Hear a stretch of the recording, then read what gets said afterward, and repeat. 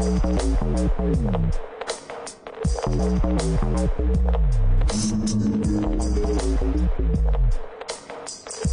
you.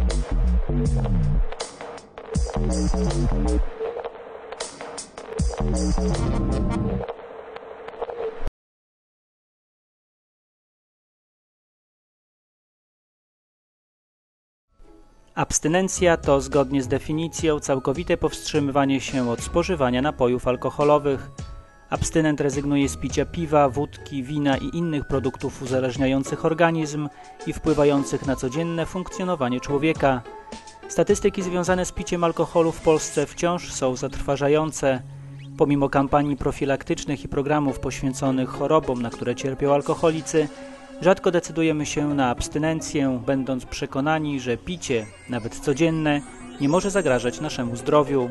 Niestety jesteśmy w błędzie. Czasami nie ma innego wyboru, jak być abstynentem.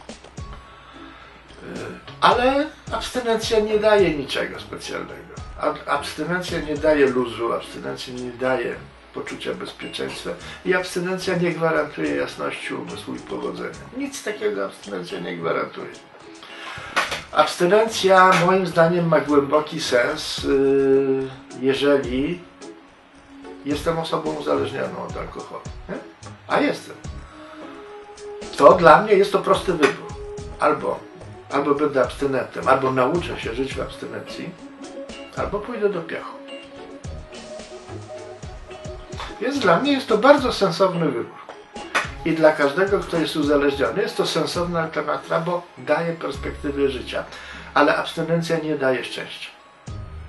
Abstynencja jest tylko dlatego koniecznym warunkiem, że nie ma innego wyjścia.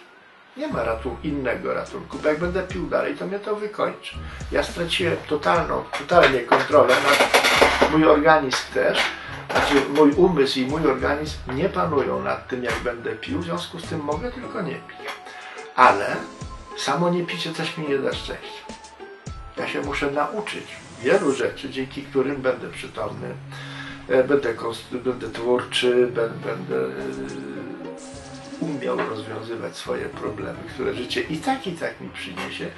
E, Będę musiał nauczyć się dbać o swój organizm, dbać o swoją psychikę, relaksować się, wypoczywać, dostarczać swojemu organizmowi to, co jest mu niezbędne. Jeżeli się tego nauczę, będę miał fajne życie. Ale nie z powodu tego, że jestem abstynentem, tylko że się nauczyłem. Abstynencja jest warunkiem nieodzownym, tak? Bycia, stania w pionie, bo jeśli na przykład przez 12 lat nie pijemy i jesteśmy abstynentami, wypijemy, możemy się znowu wprowadzić w ciąg. Jest to prawie że nieuchronne.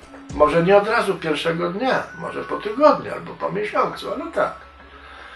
To jest tak, jak jeden mój kolega mówił, to jest, jeżeli alkoholik zaczyna myśleć ponownie o wypiciu alkoholu, to podpala ląd. Nie wiadomo, jak długi jest ten ląd, ale wiadomo, co będzie na końcu. Coś gruchnie. No i tak jest.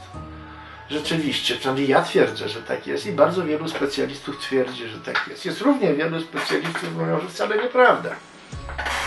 Że można alkoholika nauczyć kontrolowanego picia i tak dalej, że alkoholik może się nauczyć kontrolować picie, że może nauczyć się umiarkowanego picia. Ja w to nie wierzę.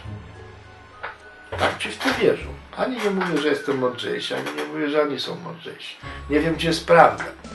Bo zawsze można znaleźć sobie jednego na świecie, któremu się udało, w związku z tym powiemy możliwe.